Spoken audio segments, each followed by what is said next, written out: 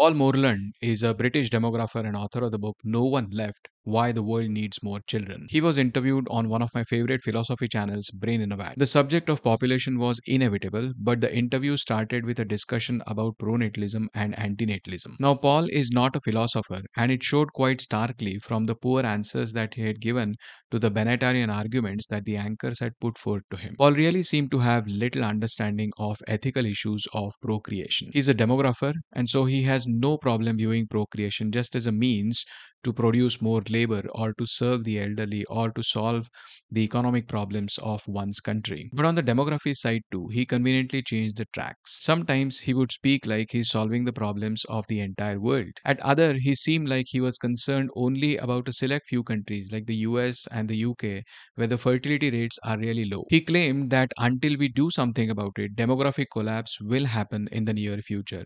And that is because people are not having enough children. And on this topic, the subject of immigration had to be brought up. Now we know that the fertility rates are declining almost all over the world, but there are still some countries which have high fertility rates. And if countries like the UK are falling short on labor, then instead of procreating new humans, why can't they utilize the services from already existing humans from other countries? And here was his bizarre argument. There's a moral issue, which is why do we think we're too important and rich and busy to have children, and we should uh, let women, say in Ghana, bear the bear the child, bear the bear children, bear the pains, educate them, bring them up, educate them even to the level of being medical professionals, which is a huge capital cost for a country like Ghana.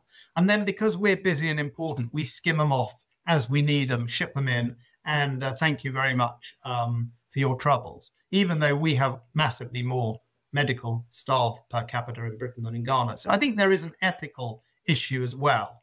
Um, Immigration does not mean that countries like the UK set up factory farms producing humans in African countries. It just means that people in high fertility countries who want to and are eligible to can move to the countries where they are needed and can contribute to the host countries meaningfully. Paul's argument also shows apathy towards those high fertility countries, as if they can do whatever they want over there but I am going to demark the boundary of my demographics only around the economically developed countries, while also pretending to be global about this issue. As a demographer, he would very well know that low fertility has a direct correlation with prosperity and increase in women's education. And yet he thinks that people in prosperous countries should have more children and not let those from the poorer countries get the opportunity to improve. And I'm not saying immigration is easy. Immigration brings with it loads of other problems.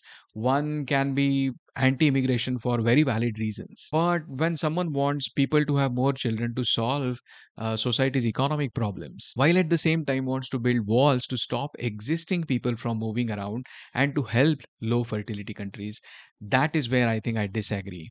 In Benatar's words, it is curious how democracy favors breeding over immigration. Offspring have a presumed right to citizenship, while potential immigrants do not. Imagine a polarized state consisting of two opposing ethnic groups. One increases its size by breeding and the other by immigration. The group that grows by immigration will either be prevented from growing or it will be accused of colonialism. But why should democracy favor one indigenous group over another merely because one breeds rather than increases by immigration? Why should breeding be unlimited but immigration curtailed where political outcomes are equally sensitive to both ways of enhancing population? Some may seek to answer this question by arguing that a right to procreative freedom is more important than a right to immigrate. That may indeed be an accurate description of the way the law actually works, but we can question whether that is the way it should be. Should somebody's freedom to create a person be more inviolable than somebody else's freedom to have a friend or family member immigrate? Another point to note was that in that interview, they talked about many countries the US, the UK, they mentioned Australia, China, sub Saharan African countries, Israel, Japan, Korea, South Africa, but Remember, the topic was procreation, population, and demographics. But not once did Paul mention the most populated nation on the planet, India. And I'm not saying this because I happen to be from India, but this was like talking about all the important mountains and peaks in the world, but not mentioning Mount Everest even once. Also, Paul's dream of a young generation as a means to serve the elderly and all the balanced population pyramids are very well present in India. And yet, it is a country of a billion problems, and partly because of its population. Granted that the fertility rate in India also has come down to the replacement levels, but there are millions millions of young people who can't find jobs. Poverty, crime rates, women's safety issues, unemployable education, densely populated slums and cities, and an embarrassing wealth inequality are features of today's India, which is a demographic disaster. But that does not bother Paul at all. Now, I've not read his book. What I'm saying is only and only on the basis of this particular interview. So I might be totally wrong. And if that is the case, please let me know in the comments. From one demographer to another, University of Colorado had an interview of Leslie Root, who is actually worried about the rise of pronatalism. She's not an antinatalist either, but she goes into nuances of declining birth rates and the rise of pronatalism. She says pronatalism is not just the idea that people should have kids, it is the idea that we should engineer birth rates to hit certain targets for the good of society. It originated in the 1800s. We saw it again in Europe when they went through this postponement transition, and we are seeing similar conversations in the US now. There's also this idea that we need to have growth from native birth rates rather than immigration. It worries me because we are seeing a weaponization of birth rates with some trying to pit people against each other based on whether they have kids or not. It's about shaming women who don't have kids and trying to get back to an era where having kids is obligatory for women to participate in society. And it's all coming at a time when reproductive autonomy is under threat. Here's another article concerning pronatalism, this time from North Korea. The fertility rate of North Korea is also below the replacement level rate of 2.1. On paper, North Korea's fertility rate is 1.8, but unofficial figures estimate it might be as low as 1.3. So Kim and his kin are worried. They are arresting doctors for performing abortions and arresting those who are selling contraceptives. There is a growing black market of contraceptives in North Korea, which are illegally smuggled generally from China. It's a pretty grim article, even if you are not an antinatalist. Going from North Korea to Malaysia, there were two articles talking about child-free situation in Malaysia. One was on Malay Mail, which I think is a Malaysian website, and another one was on an Indian news website, ABP News, which was in Hindi. Malaysia is a Muslim majority country, and there is a conflict in the traditional ways of viewing reproduction and the new generations who are not having children or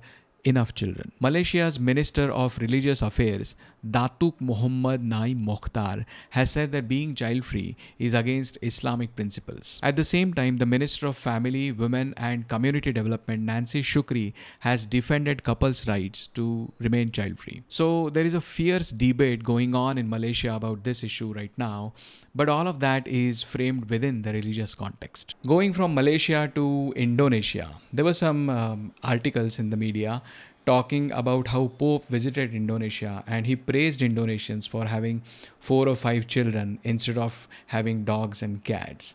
So we have this funny situation where Republicans, especially in America, are talking about immigrants eating dogs and cats, whereas Pope is going around the world asking people to have more children instead of having dogs and cats as pets, instead of taking care of dogs and cats. But anyway, that is all noise, not really directly into antinatalism, but just around the fertility on the periphery of the topics of antinatalism. So I thought I'll just mention that as a passing.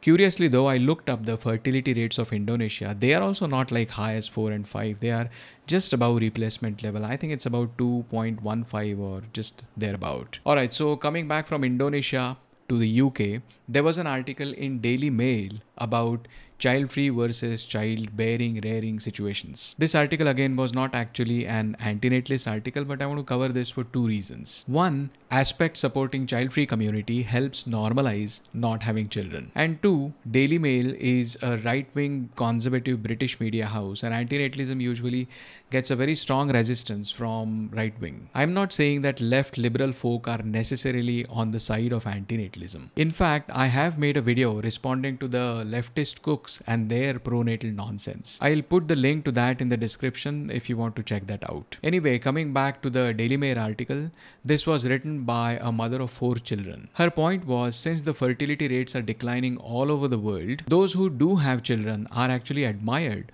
politicians want women to have more children. That includes uh, Vladimir Putin, Xi Jinping, um, Giorgia Meloni, even those like, as we said, looked at Pope, Elon Musk, they want people to have more and more children to save the society from uh, demographic collapse. But here in this article, she says that having children actually makes you selfish. She takes her own example that before having children, she used to worry about the world, about the problems of the world. She would help others in the society. But now she cannot afford to do any of that. That's because she says any spare minute is devoted not to the greater good, but to the good of my household. This coming from a mother of four children in a British conservative newspaper is, I think, a big deal and a very good news. It is the right wing politicians who are usually accusing people who don't have children of being selfish. But here she says, when you're deep in the trenches of parenthood, selfless instincts are trampled underfoot. So, yeah, good article. Hank Green and if you don't know Hank Green, he's a famous YouTuber who generally makes videos about science. He made a YouTube short video talking about how bizarre it is that you can make a whole new person, a whole new human being just like that, even by accident. And Insider News, Lawrence is probably making a video about this soon, so looking forward to it. Talking of Lawrence, he made a video about the relationship between being glad to be born and the Stockholm Syndrome. Stockholm Syndrome is a coping mechanism where a captive person develops positive feelings towards their captor. In the natalist context, this provides analogy in two ways. One is that we feel glad to be born. We are born into captivity where we are slaves to our genes and the situation around us, and yet we are glad to be here. And then there is this case of our parents who bring us here. In a way, they are our captors, but we develop one of the strongest bonds of love with them. Now, Lawrence focuses mainly on the situational part of it because talking about parent child relationship in this context is not the healthiest approach. And I agree with him. I mean, talking about parent child relationship is lot more complex than just talking about our genes and the situation. But it is still a topic that needs to be addressed, not in a hostile way, but in a philosophical way. David Benatar curiously dedicated his book Better Never to Have Been to his parents. We live in this web of relationships, and among those relationships, our bonds with our parents are one of the strongest ones that we have, at least for some of us. And that is why I think this topic is very important and needs to be addressed. On a slightly different shade of the same topic, SophyPhilia made a video talking about consent. I could consent to be born after I am born. But does that make the act of bringing me into this world before I could give that consent right? And to this, he gives some analogies like feeding me with some psychedelics without my consent to prove that it is still not right to do this without my consent, even if I might be enjoying that experience after I have had those psychedelics. So, this is not a utilitarian argument. Um, if you make a rule that you ought not to impose something on someone without taking their consent first, then this argument works. And SophyPhilia goes quite into details of this. Radio Image is a Spanish channel with over 921,000 subscribers, and they had a discussion about antinatalism and uh, David Benatar. Since the video was in Spanish, I got the transcript translated. It looked like the speaker touched upon many aspects of Benatarian antinatalism, like the asymmetry, the quality of life argument, even talked about the human predicament, which is a separate book by David Benatar. And as usual, the host did not seem convinced, but it is still a good news that antinatalism is being talked on these big channels.